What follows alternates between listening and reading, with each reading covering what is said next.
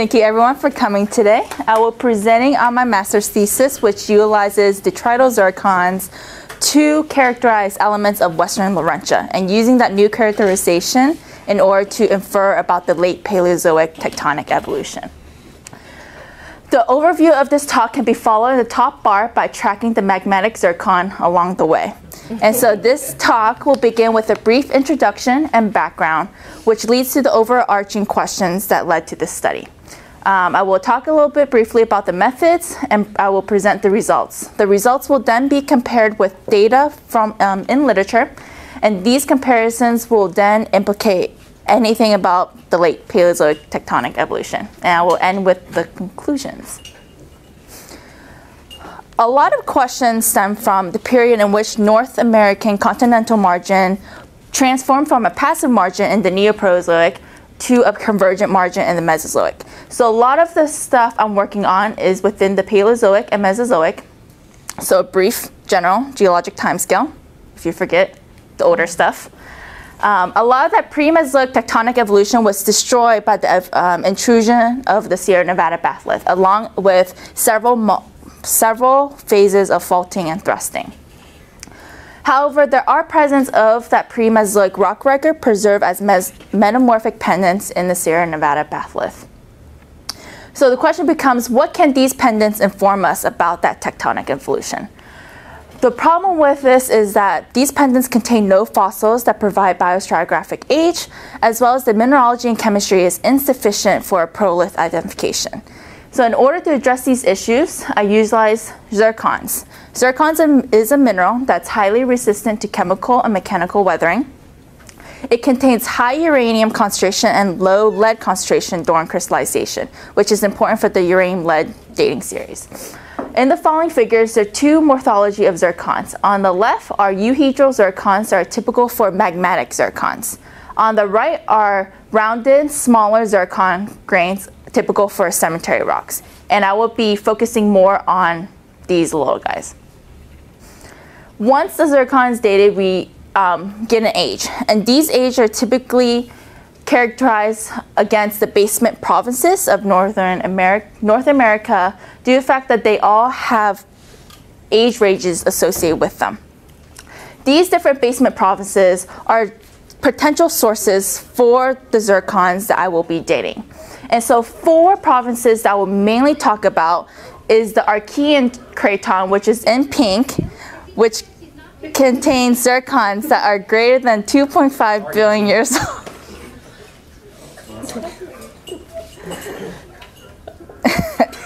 we have a laugh track for your thesis. I know. I was like, uh. I'll just step out.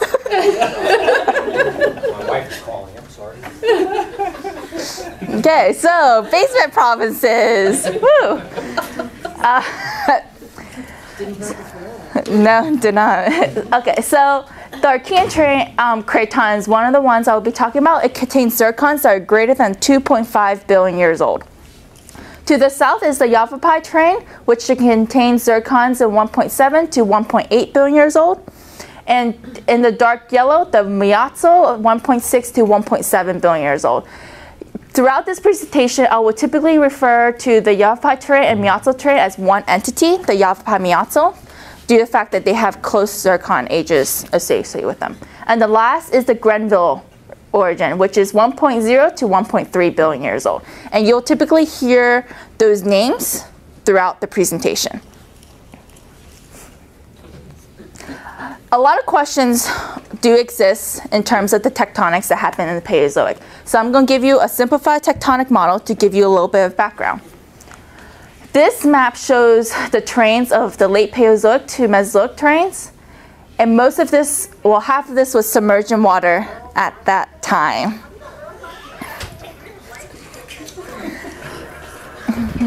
I, I am so sorry.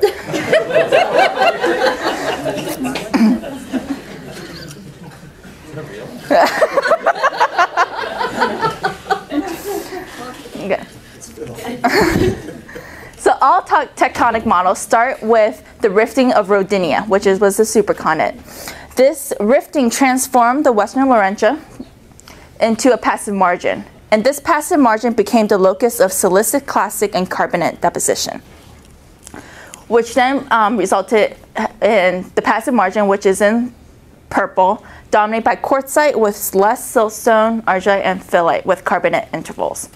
Common detrital zircon population ranges from the Grenville, which is the 1.0 to 1.3 billion years old, and the Yavapai Mazatzal, 1.6 to 1.8 billion years old. These are the two common detrital zircon signatures of the passive margin.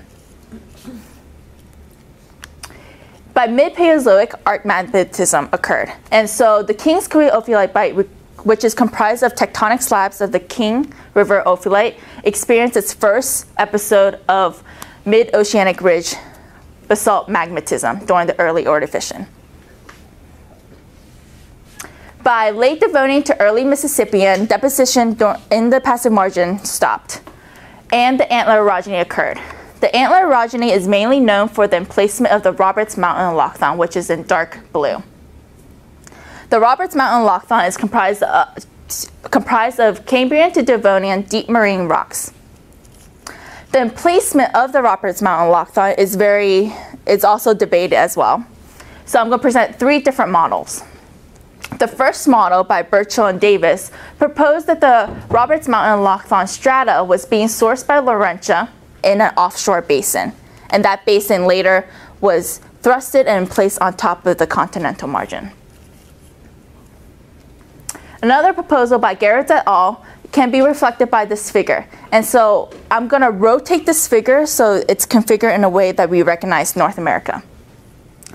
Now Nevada is into the south, north to Idaho to Canada. And so Gehrels et al. proposed that the Roberts Mountain Allochthon receive detritus from the Peace River Arch, which is in Canada.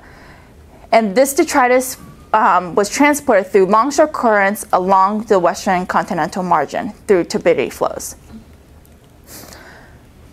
Linde et al. modified that model and saying that the um, Roberts Mountain Allochthon strata was being um, was receiving detritus further north. So Nevada is currently in the south down here somewhere. And so the detritus was being received towards the north and that Roberts Mountain Allochthon strata was being translated down and later thrusted onto the continental margin. By late Pennsylvania, the southern edge of the passive margin, depicted by the pink, is truncated along the sinistral transform system. By the Permian, the polarity of the McCloud arc reversed, which caused the Golconda slide basin in the blue to begin to close. Intra-transform spreading within this transform system also begin, began and so the Kings-Kaweah ophiolite belt uh, record a second pulse of magmatism. And this magmatism, uh, the magma introduced through the early Ordovician rocks, with shearing and hydrothermal reactions, the rocks then um, began to turn into a melange. In the Permo-Triassic, the Kings-Kaweah ophiolite belt dock against the continental margin and subduction resumed, which caused the emplacement of the Golconda allochthon, which is comprised of Upper Devonian to Upper Permian deep ocean basin rocks. Similarly to the Roberts Mountain allochthon, there's a lot of models that have been um, proposed for the emplacement. So I'm going to present two. Miller et al. depicted that the Schoonover, the strata was being deposited in a basin and that the placement occurred due to a west-facing arc system during a back arc basin closure.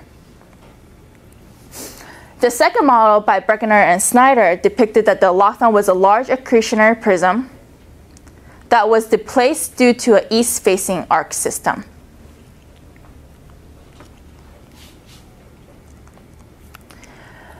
After the emplacement of the Golconda, deposition of the Calaveras complex and the King sequence occurred. And then by the Mesozoic, the Sierra Nevada batholith intruded through all those rock record and destroyed most of it. Magmatism was nearly continuous for 195 million years, with several magma flare-ups and walls.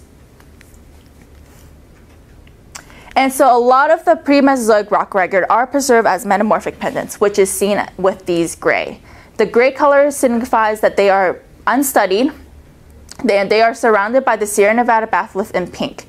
To the west is the Calaveras sequence in green and the Kaweah melange in purple. I will be studying pendants that are found in Tulare County, California. um, previous undergraduate students collected samples from the SciCon pendant, which is this little guy right here. Through preliminary analysis, they found that there's a correlation between the SciCon pendant and the Schoonover sequence, which is part of the Golconda allochthon in north central Nevada and Independence Mountain. and so whenever we received um, ages from zircons, we plot them in a probability density plots as shown here. This plot is used for visual inspection with the area, the area underneath the curve normalized. And so whenever we look at these graphs, we look at peaks. The higher the peak, that means that there's more percentage of zircons within that age range, with age in the x-axis as million years old. These probability density plots are typically stacked with other samples in order to compare those similar peaks. And so the bottom two samples are the Schoonover sequence um, that has been published by Raleigh et al. 2000 and compared to a previous analysis of SciCon pendant. Based on this, this visual inspection, there are similar ranges from 1.6 to 1.8, which was the Yavapai Mazatzal, as well as similar um, peaks greater than 2.5, which is uh, from zircons originating from the Archean craton. However, nowadays for statistical analysis, we need an n value of 300. So that means that we need to analyze at least 300 detrital zircons in order to provide a good statistical analysis.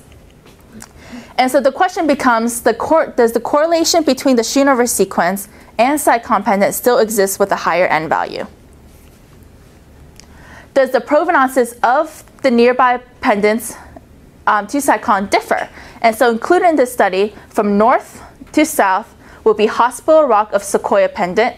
Um, throughout this pre presentation, I'll be referring to Hospital Rock. To the south, South Fork Pendant. Another sample of SciCon pendant will be collect is collected, and then the last pendant is Slate Mountain pendant. These are all included into the analysis of my study. And then the overall question, what are the implications to the tectonic evolution of Western Laurentia?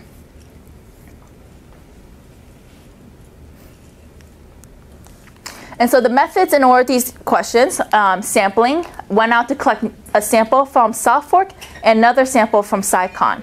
Previous Cal State Fullerton students collected samples from Hospital Rock and Slate Mountain, and I will incorporate that into my data set. More samples from the Schoonover sequence are collected in order to increase that N value. After collecting um, sampling, I will be conducting a petrographic analysis of these samples to see if there's any differences between them. Um, then I will separate out zircons, which will be then used for uranium lead dating. And these dates will be um, analyzed by statistical analysis. And the data results will be compared with published data with further implications. And so in order to do um, zircon separation, the samples that collect in the field are grind and crushed to sand size sediments. These sand size sediments are then sieved, um, sieved. And so the sediments I want are smaller than 400 micrometers. The sediments that are less than 400 micrometers are then processed through a hand magnet to separate out the highly magnetic grains such as magnetite. It is then processed through a Wilfley water table in order to separate out sediments by density. So zircon has a very high density of 4.2 grams per milliliter, and so the high, the densest grains that separate are separated out from this process will be processed through a Franz magnetic separator. Zircon has a low magnetic characteristics, and so the remaining non-magnetic grains will be separated out again by des des um, density. After this step, zircons are hand-picked out for uranium lead dating at the Arizona LaserChron Center using the LAICPMS. And so this is a mound full of zircons. And so in the middle block are zircons that we handpicked out. It was a nice adventure. It is bounded by um, zircons for use for standards. And so zoom in look, these are the zircons of my samples, and each zircon are at most 300 micrometers in diameter. So they're very tiny. At least 300 zircons are zapped with a laser in order to make a pit. This pit will then, um, the ions that are released will then be used, will be processed through a mass spectrometry in order to get uranium lead ages. When these ages are obtained, um, they are plotted on a Concordia diagram to give us some information about the system in which the zircon crystallizes. And so this is a Concordia diagram with the y-axis with two different uranium lead decay systems. So on the x is 207 lead over 235 uranium. On the y, 206 lead over 238 uranium. This blue curve is determined empirically based on these two decay systems. And so whenever a sample, a zircon, is plotted on Concordia, which is depicted by the X, it means that it involved in a closed system. When these samples plot off Concordia, it means these are considered discordant. These zircon crystallize in an open system. At this point, um, samples are proce typically processed at 10 to 20% discordance. However, for uh, my samples, I process them at a 30% discordance. So meaning any samples that are greater than 30% discordance are thrown out of analysis. a best fit line is fit through all these discordant ages in order to get the upper intercept, which tells us the crystallization age of this sample. The lower intercept tells information about the last disturbance age of this system. These ages are then compared to the basement map, which will, you will see throughout this presentation.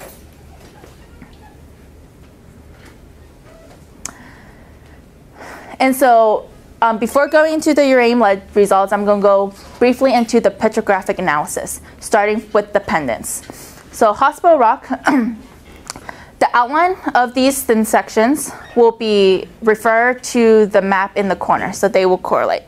So Hospital Rock Formation, which is towards the north, contains primarily of quartz and biotite laths. To the south is South Fork, which shows a higher degree of foliation, so contains quartz, calcite, white mica, and biotite. Two samples from the SciCon pendant collected due to the different mineralogy. One is primarily of quartz and biotite, and the other one shows weak foliation with quartz, biotite, white mica. And the last sample is Slate Mountain, which is comprised of quartz and biotite. So just on a brief, um, brief overview, you can see that there's different mineralogy and fabric between these metamorphic pendants, which will be important later on. Since SciCon pendant correlate with Schoonover sequence of the Golconda allochthon, I will be mainly focusing on collecting samples from the Schoonover sequence, which is in red. This is a zoom in of the stratigraphic column of just the Schoonover sequence, and sampling took place mainly on the lower portion. If the sampling follows Riley et al., just because we wanted to increase that N value. And so samples were collected from the pink in the silicic classic rocks, as well as the volcanic classic rocks in red. the silicic classic rock contains class of quartz, chert, and um, plagioclase feldspar. It is well sorted, and the um, class are sub-rounded to rounded. In the volcanic classic one, it contains class of quartz, chert, volcanic rocks, and calcite. It is poorly sorted and is ranges from sub-rounded to subangular. The volcanic class in this sample are the ones that are typically more subangular, which is important. And the last sample is collected from this very well mature quartz sandstone.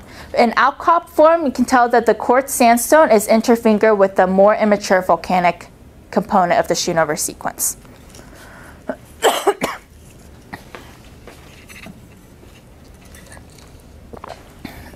When plotting the uranium-lead dates of all the Schoonover sequence, um, there could be similar age peaks are shown. However, there's one difference in this sample. This large peak at a younger age. This peak is at 350 million years old, and that can be interpreted as the maximum depositional age of the Schoonover sequence. Typically, statistical analysis is conducted, and depositional age is obtained through the three youngest zircon clusters. What's really important in this sample is that I was able to use N, uh, 20 zircons and still get an average age of 350 million years old, which is important for um, the source, interpreting the source of the Schoonover sequence. When comparing the metamorphic pendants together, they have similar age ranges of 1.4 to 1.5, and then also the 1.6 to 1.8, the Yavapai Mazatzal terrain. However, in, when using statistical analysis, zircons with a Mesozoic age, age range is discarded just because they could be zircons coming from um, the Sierra Nevada batholith, as well as zircons with high uranium-thorium ratio. The high uranium high uranium thorium ratio indicates that the zircon could have undergone metamorphism, and so that is um, discarded from analysis. Um, so the, the yellow bar shows similar peaks, however the blue bar shows dissimilar peaks. And so South Fork and SciCon show um, peaks greater than 2.5, so there's zircons originating from the Archean terrain in the pink, and the Slate Mountain and Hospital Rock shows zircons that are originating from the Grenville or, um, origin, which is in light purple. When comparing this through another statistical analysis, the KS test, this table um, compares two data distributions, determine if they're um, statistically different from each other. And so the gray bars shows that that is when the two of the same sample intercept. And when reading this graph, you only really have to read half the graph table. The data in the blue is the same as the data that's below the gray um, blocks, cells. So just read the top half. Um, these numbers are the p-values. So if the p-values are greater than 0.05, it means that there's a 95 confidence level that the two age spectras are similar and not picked at random. And so based on this table, the KS test shows that Hospital Rock has a correlation with Slate Mountain. And the two SciCon pendants samples correlate as well. However, no other appendants correlate. One problem with the KS test is that there's a lot of sensitivities. It is sensitive to the number of analyses, it's sensitive to the proportion of similar ages, and it's also sensitive to the presence of different ages. So the use of the KS test is sort of dwindling in literature. It's not disappeared, hasn't disappeared yet, but it's, um, it's sort of dwindling. And another statistical analysis is being commonly used, the multidimensional scaling. This statistical analysis provides a visual inspection of patterns of um, proximity. So there's no axes on this graph just because it's a one-to-one -one ratio. We want to look at the distances between the samples and not the values. So each circle represents a different sample. Samples that are connected by a solid line means that they have a stronger connection than correlation than something that is connected by a dashed line. So based on this map, there's two there's a clear boundary independence. There's one on the right, which is Slate Mountain Hospital Rock, which contains main detrital age populations at the Grenville um, origin and the Yavapai Mazatzal terrain. On the left are South Fork and SciCon pendant, which contains zircon grains from the Archean craton and the Yavapai Mazatzal terrain. And so the main difference that separates these two groups of pendants is the presence of the Archean zircons and the Grenville zircons. When comparing these pendants to the Schoonover sequence, there is a similar age range as the Yavapai Mazatzal, as well as zircons from the Archean craton. However, there are some differences, mainly zircons from the Grenville orogen.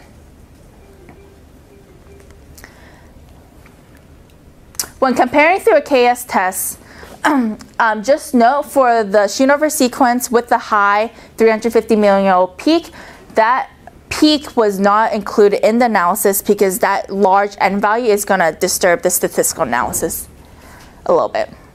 So when looking at this, just look in the red box.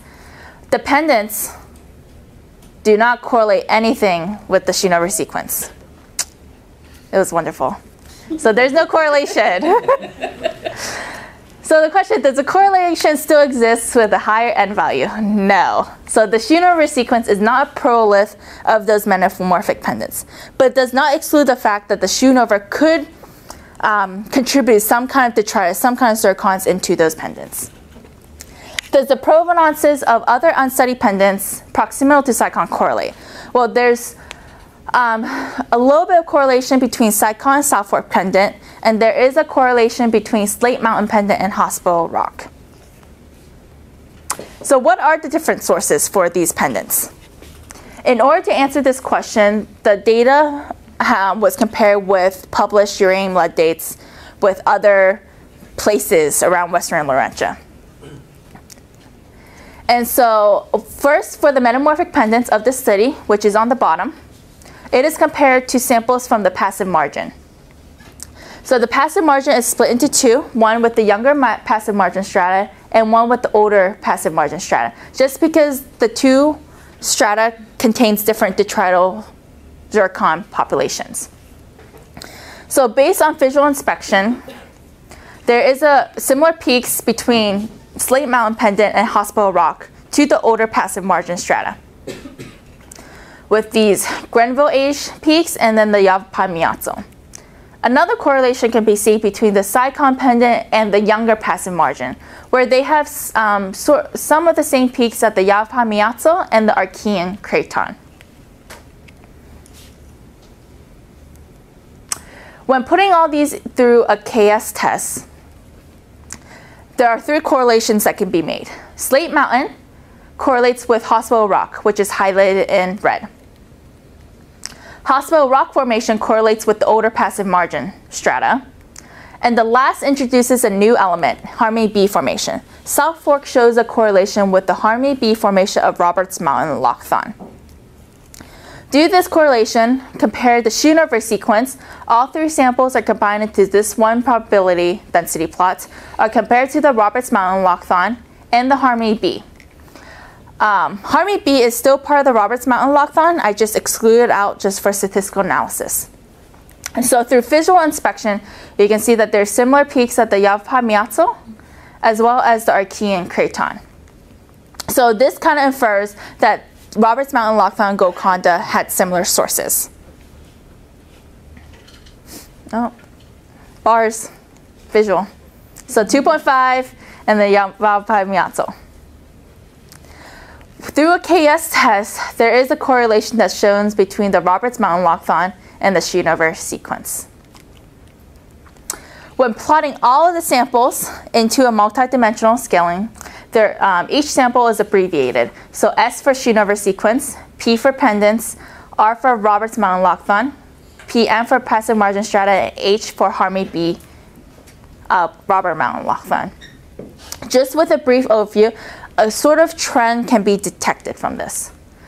So on the left side of the map, these samples contain more Grenville age zircons, while the samples on the right contain more Yavapai Mazatzal. On the right, there is more, um, zircons on the bottom contains more Archean craton zircons than the ones on top. And so by looking at this map, there's several correlations that can be made. A story kind of unfolds. On the right, you have Hospital Rock, Slate Mountain, and the older passive margin. And so with these plotted next to each other, it kind of solidifies the fact that the Hospital Rock and Slate Mountain received detritus from the older passive margin. On the right, the Schoonover sequence correlates with the Roberts Mountain Allochthon, as well as some of Harmony B formation. The easy part. Now the harder part of story is SciCon pendant, the one that didn't really correlate with anything through the KS test, through um, probability density plot. Through this map, it shows that SciCon does correlate with South Fork Um, and it also correlates with the younger passive margin strata. And so that kind of indicates that maybe SciCon was receiving some of that younger, pa younger passive margin strata um, during its time. South Fork correlates with Harmony B. And so what are the different sources for these pendants? Hospital Rock, which is colored in light blue, correlates with the older passive margin. SciCon and South Fork have similar sources. Um, potentially Roberts Mountain Allochthon, the Golconda Allochthon, and maybe even the passive margin. The Schoonover sequence have a similar source to Roberts Mountain Allochthon. The robust 350 million year old, million year old age peak coupled with the angular volcanic clasts that are found in the sample documents that there's a nearby volcanic source to the Schoonover depositional basin. Um, Linde et al. correlated that the Roberts Mountain Allochthon to a northern source, the Peace River Arch, which is in green. Due to the fact that of these um, magmatic arcs and terrains located in that area.